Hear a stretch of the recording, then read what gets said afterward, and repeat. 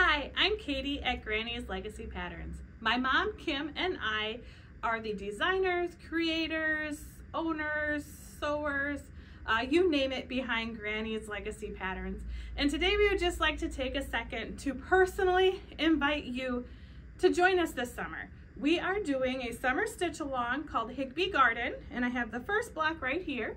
It is a mystery, but we are showing the first block so you can kind of get a feel of what the project is going to be. And we would love nothing more than for you to join us. To stitch along with us, there are three steps. The first step is to sign up to receive your patterns. The second step is to join our Granny's Legacy Stitchers Facebook group. And the third step is to uh, get supplies that you need so you're ready to stitch along with us. So I'll break that down here a little bit. So to sign up for patterns, just head on over to our website, grannyslegacypatterns.com. And if you just uh, type Higby in the, the search bar, H-I-G-B-Y, it'll pull up all the things that you need. So there's two options for the pattern. The first option is a printed and mailed pattern that we literally print out paper, put it in an envelope, put a stamp on it, and mail it to you. So we can either print them or uh, my favorite method is a digital download. Each week on the Wednesday, we will send you an email with a button to click to download and print your pattern so you have it right away and you don't have to wait for the mail.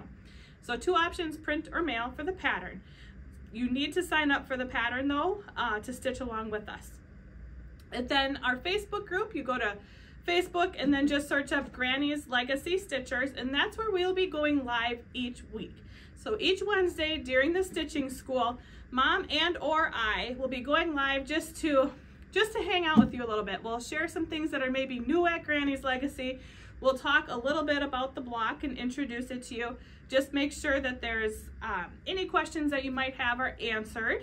And then also we might do a drawing. Who knows? It'll just be a fun time to really get to know you and for you to get to know us um, on Facebook. And so the third step is your supplies. We have created a stitch along supply box that looks like this. And it is a really beautiful, ready to use box. Um, all inclusive kind of thing. So inside you will find a sheet of paper that just talks about the contents of the box.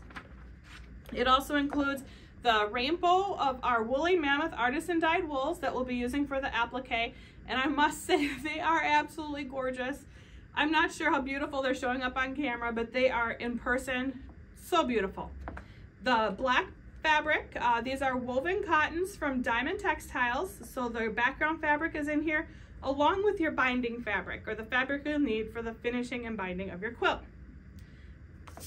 The beads for embellishing are included in really nice uh, acrylic screw top bead jars. So your beads for embellishing.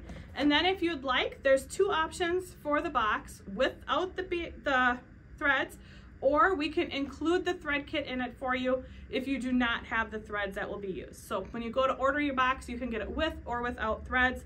And of course, if you already have some of the threads, you can always just order the individual balls as well. So there's two options for ordering your project box. So we would love nothing more than for you to join us this summer. It would be an absolute honor to have you stitch along with us. And we are so excited. We are looking forward to this and we hope to see you there. Happy stitching.